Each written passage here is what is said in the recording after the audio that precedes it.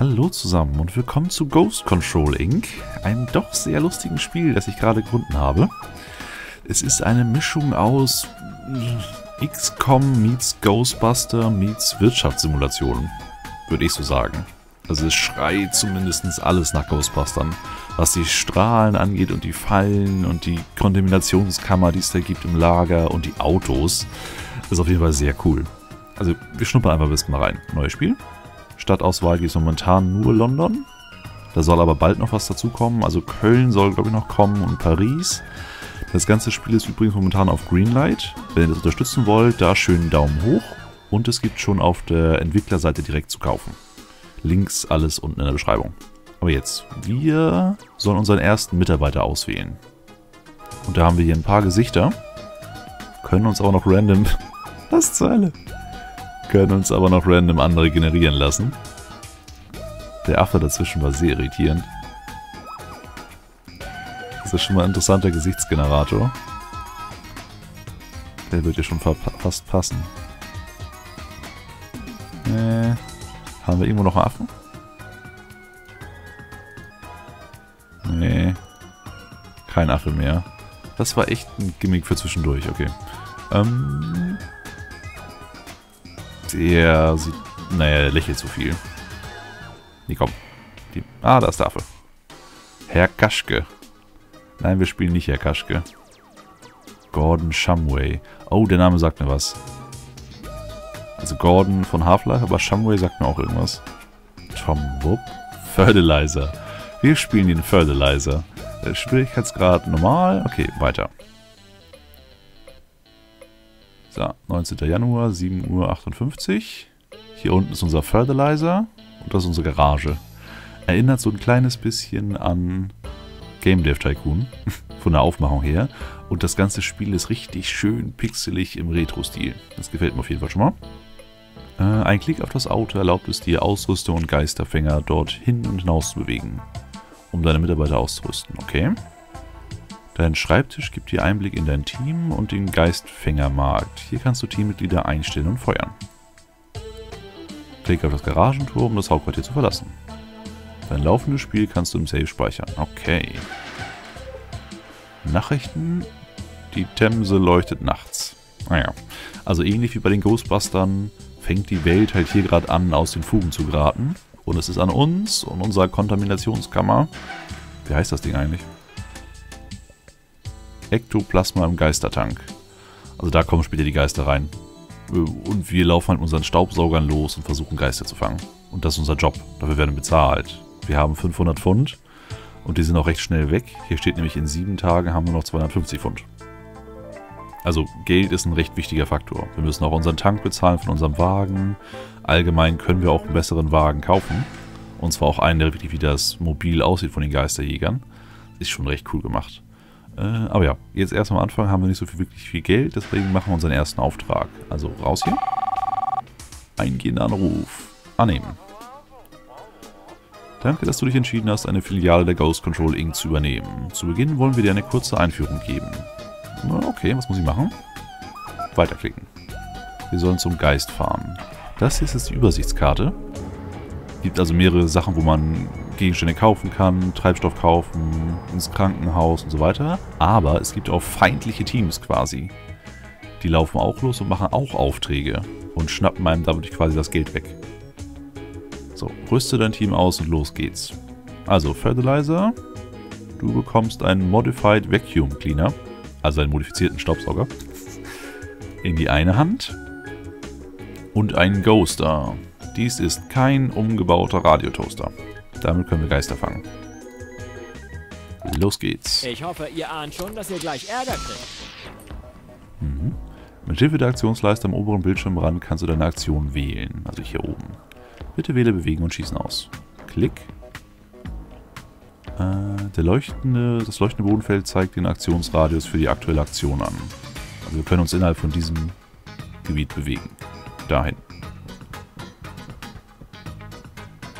Ein Geisterfänger hat zwei Aktionspunkte pro Runde. Einige Aktionen bewegen verbrauchen AP. Die blinkenden roten Symbole über dem Porträt, das da, zeigen die verbleibenden AP an. Bitte bewegt zum markierten Feld. Jo. Wähle das Türsymbol in der Auktionsleiste. Aha. Du hast noch Bewegungspunkte über. Beweg dich auf dem markiertes Feld. Klick. Wenn der Geisterfänger auf einem Türfeld steht, kann er das Licht im Raum mit Hilfe der Lichtaktion an- und ausschalten. Und unser erster Geist. Der verdächtig aussieht wie du, komischer Tutorial-Mann. Du hast keine Aktionspunkte mehr zur Verfügung. Beende diese Runde, indem du Runde beenden drückst. Klick. Der Poltergeist hat eine Kiste zerstört und damit die Schadensanzeige am rechten Bildschirmrand aufgefüllt. ja, das, das finde ich ein sehr interessantes Feature. Also wenn wir jetzt hier reinstürmen, die Tür auftreten und rumballern wie wild, dann gehen halt auch Sachen zu Bruch. Was wahrscheinlich später bei den etwas dickeren Strahlen problematisch sein würde. Stichwort Strahlenkreuzen und so. Ähm, das kostet halt Geld. Aber gut. Äh, nee. Wenn diese komplett gefüllt ist, scheitert eine aktuelle Mission. Ja, und wenn sie zur Hälfte gefüllt ist, verdienen wir fast kein Geld mehr. Äh, halte die Maus über den Geist und schieße, um ihn zu schwächen. Tipp, Geister müssen mit Schüssen geschwächt und anschließend mit einer Falle eingefangen werden.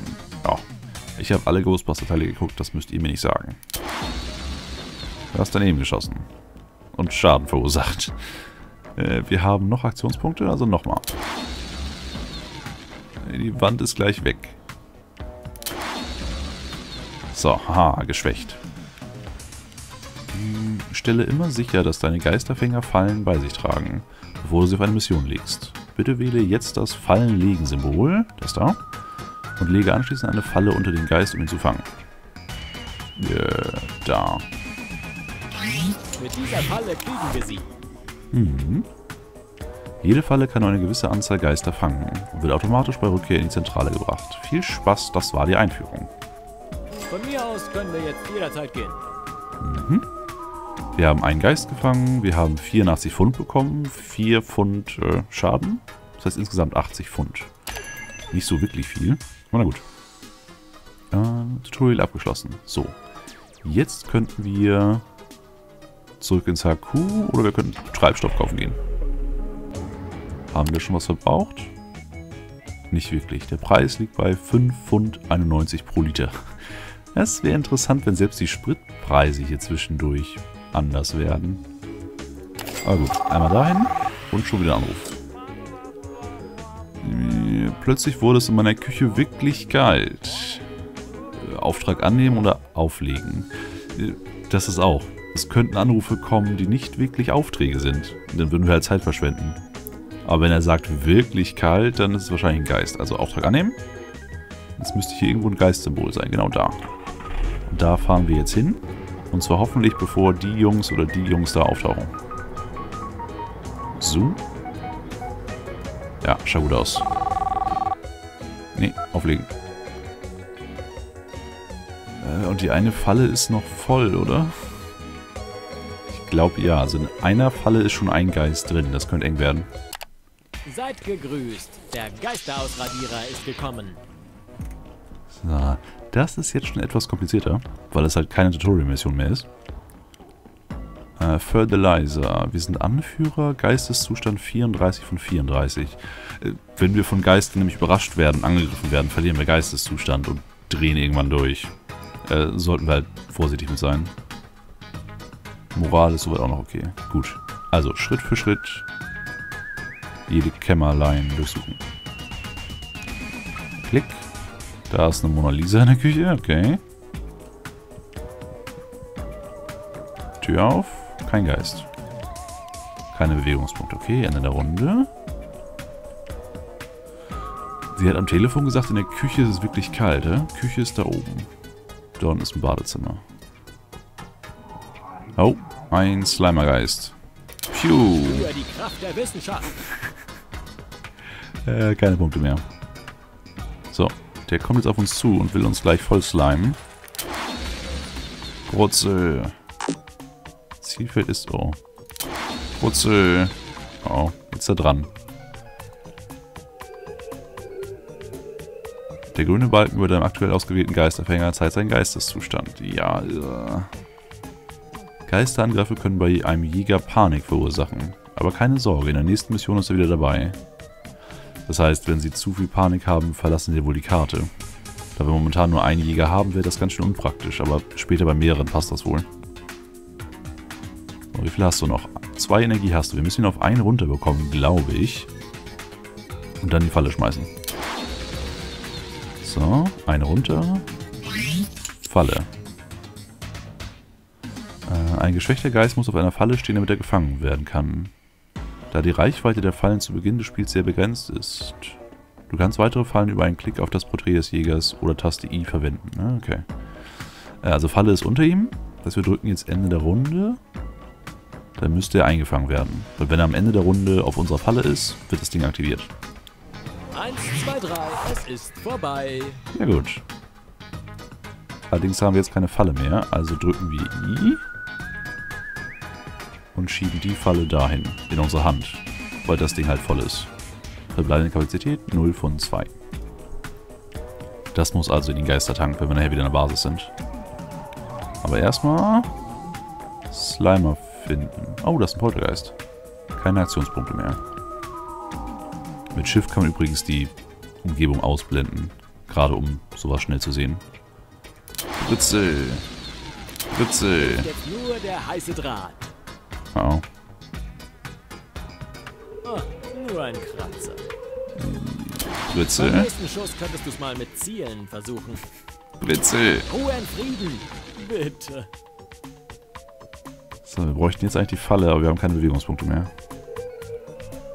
Jetzt aber Falle legen. Dahin. Beenden. Eingefangen, sehr gut. So. Können wir jetzt gehen? Plus ein Moral. Ah, sehr schön. Also die Stats werden auch erhöht. Je nachdem, wie die in die Mission abschneiden. Keine Ahnung, müssen wir im Auge behalten. Ja, gratuliere. Du hast deinen ersten Einsatz erfolgreich gemeistert. Im Krankenhaus kannst du dein Team kurieren lassen. Anschließend solltest du zurück in die Zentrale fahren. Dort werden deine Fallen automatisch entleert. Weil wir haben nicht mehr wirklich viel Platz. Also wir könnten jetzt keine Mission annehmen. Vergessen. Nicht vergessen. Geisterfanger heilen und... Nee, okay. Eingehender Anruf. Nee, okay. Hier geht etwas Seltsames in meinem Fernseher vor. Nein, wir haben keine Zeit. Weil ich denke, wenn wir Aufträge annehmen, die wir dann nicht durchführen, kriegen wir Ärger. Also gehen wir uns erstmal heilen, gehen in die Basis und dann schauen wir weiter. Äh, Verstand heilen 60 Pfund. Na gut. Da unten tuckern wir unserem kleinen Wagen. Ich will einen größeren Wagen. Vor allem ist der bestimmt auch schneller. Aber gut, hier haben wir das HQ von... Ich glaube von unseren Feinden. Oh, wir können ein HQ kaufen. So ein besseres HQ. Das wäre auch eine Idee. Hier gibt es Ausrüstung, da gibt es Ausrüstung. Zwei Tankstellen, das war's bisher. Jetzt erstmal nach Hause. Klick. Skelette fallen 2. Das heißt, wir haben jetzt hier drin Elektroplasma im Geistertank 3. Wir könnten alles verkaufen. Aber wenn das wirklich an Ghostbusters angelehnt ist, dann könnte ich mir vorstellen, dass wir den Tank voll machen und überlaufen lassen, dass irgendwas ganz Garstiges passiert. So à la Marshmallow-Mann oder so. Müssen wir mal gucken. Erstmal haben wir jetzt ein bisschen mehr Geld. Das heißt, ich würde gerne noch einen zweiten Geisterjäger anheuern. Nicht den Affen. Äh, in diesem Fenster kannst du Jäger anheuern und entlassen. Beim Einstellen eines Jägers wird ein einmaliger Betrag fällig. Alle Jäger in deinem Team bekommen ein monatliches Gehalt. Wobei ein Monat recht lang ist und hör auf weiter zu laufen Zeit. Äh, halte die Maus über ein Porträt, um zu sehen, wie hoch das Gehalt ist. Alle 24 Stunden erscheint eine neue Liste an Jägern. Okay. Also wir haben jetzt einen Anführer, das ist unser Fertilizer. Und es gibt noch andere Klassen, wie zum Beispiel er hier ist Schläger, hat sehr viel Stärke. Du bist ein interessant aussehender Schläger. Du bist ein Anführer, davon haben wir schon einen. Eine Wissenschaftlerin. Auch eine gut aussehende, ich glaube, die nehmen wir. Und nennen sie Jenny. Ich glaube, so hieß die Telefonistin. Du. Anheuern. Ah ne, erstmal gucken, wie teuer du bist. Stopp, stopp, stopp, stopp. So, wie teuer bist du? Bezahlung 100 Pfund, Erstgehalt 100 Pfund. Also ist vollkommen okay. Wir machen mit einem Auftrag ziemlich viel Kohle. Also anheuern, ja. Äh, vergiss nicht, deine neuen Geisterfänger auszurüsten. Stimmt. Haben wir da was? Klicke auf einen Geisterjäger, um sein Inventar zu öffnen. Anschließend kannst du seine Ausrüstung ändern. Du hast, genau, die Sachen. Du bist Nakidai. Dann steigt mal Nakidai in den Wagen zu Fertilizer. Und wir fahren erstmal Ausrüstung kaufen. So ein Overall wäre vielleicht schon mal nicht schlecht. äh, ja. Raus. Ausrüstung. Das sieht wie Ausrüstung aus. Okay, annehmen.